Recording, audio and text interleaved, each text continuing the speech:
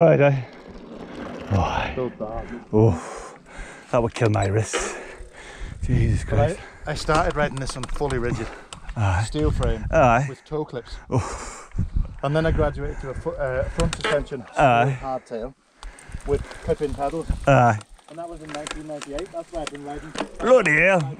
98. So I've been riding a long time.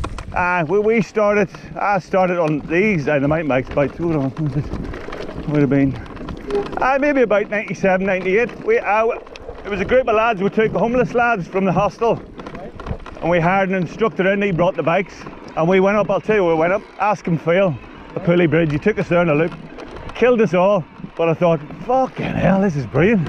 That was me hooked. Aye.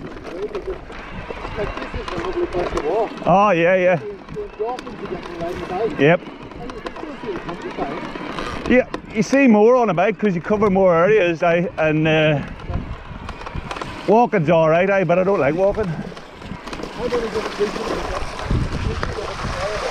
Aye.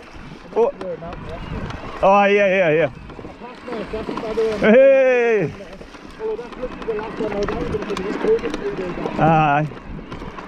So did they? Do they do like they take you out, assess you, observe you, do an incident, you have to manage it, all that sort of stuff, eh? What, what it was mostly about was we did a section of the rigging. Aye. Aye, no, yes, the ground. aye. The testers on our knots.